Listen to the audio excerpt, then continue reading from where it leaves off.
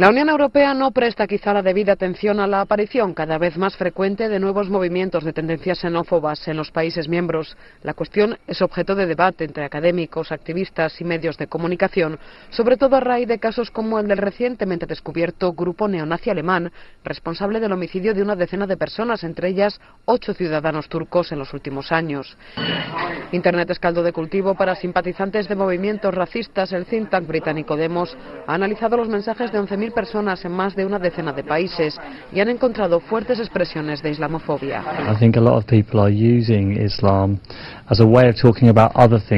Creo que muchas personas están usando el Islam como pretexto para discutir de otras cosas que realmente les preocupan. La realidad es que la mayor parte de los musulmanes europeos son personas democráticas y pacíficas. Están orgullosos de ser musulmanes europeos, pero muchas veces se les describe en los medios de comunicación como extremistas fanáticos. En casi todos los países europeos los partidos de extrema derecha están ganando terreno político, como el Frente Nacional francés con Marine Le Pen como candidata a las presidenciales. Otro caso singular es el del jefe de filas de la tercera fuerza política holandesa que tiene que dar explicaciones ante la justicia por incitación al odio. Y eso sin hablar de organizaciones extremistas como la Liga de la Defensa Inglesa o el Movimiento Paren la Islamización de Europa, con miles de seguidores. Uh, Estos grupos antiguamente marginales están creciendo cada vez más, explica esta eurodiputada. Y lo que asusta es el hecho de que los partidos de derecha se apropian de su discurso y lo llevan a la práctica.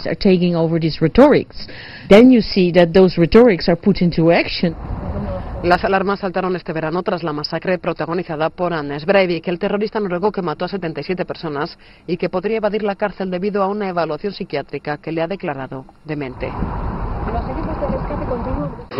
Michael Privo es el director de la Red Europea contra el Racismo, que reagrupa más de 700 asociaciones que luchan contra el racismo en los países miembros de la Unión Europea.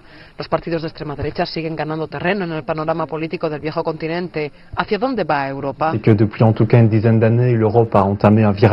Desde hace una quincena de años Europa ha dado un giro hacia la derecha, se va hacia la extrema derecha. Están alimentando un discurso recogido en los medios de comunicación del que se hacen eco políticos a todos los niveles sociales. Un discurso que banaliza el odio hacia el prójimo. Y queda en evidencia que los gobiernos o no hacen nada no tienen la fuerza necesaria para contener esta forma de violencia. ¿Se parecen algo a los años 20?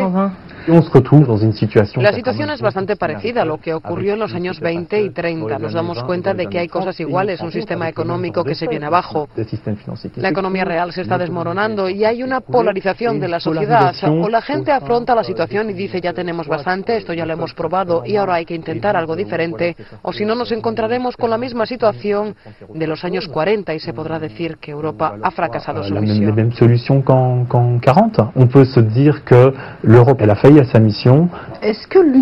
La Unión Europea minimiza demasiado, o mejor, niega la amenaza que supone la extrema derecha.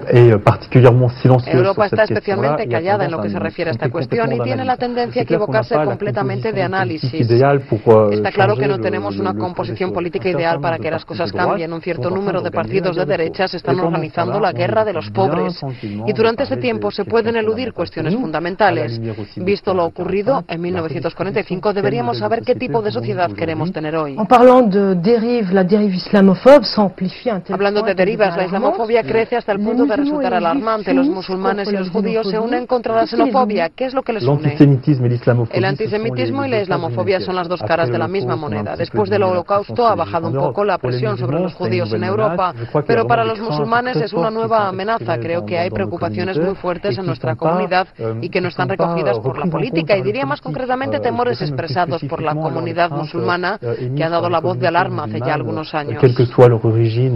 Hay un sentimiento de doble victimismo dentro de esas comunidades porque tienen la impresión de contribuir a la economía, al bienestar general, como todos, pero no se sienten para nada protegidos y sus voces no cuentan absolutamente nada en el debate político global. Hablando de masacres, euh, eso que vemos ahora es solo la punta del iceberg extremista que crece en Europa en este momento. Ese es el análisis que hace nuestra red. La banalización de ese tipo de retórica permite que un cierto número de personas que son probablemente más vulnerables por diferentes razones pasen a la acción violenta.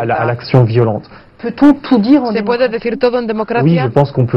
Sí, creo que se pueden decir muchas cosas. Nos damos cuenta de que un cierto número de líderes de la extrema derecha contraatacan. Tienen miedo de ser citados por Anders Behring Breivik, el terrorista noruego. Temen que se les acuse de ser responsables. Por supuesto, no penalmente, porque no lo son. Pero moralmente su responsabilidad es muy fuerte porque han alimentado este clima de odio. Esto no quiere decir que se tenga que limitar la libertad de expresión, pero sí quiere decir que hoy necesitamos una alternativa política fiable. alternative politique crédible.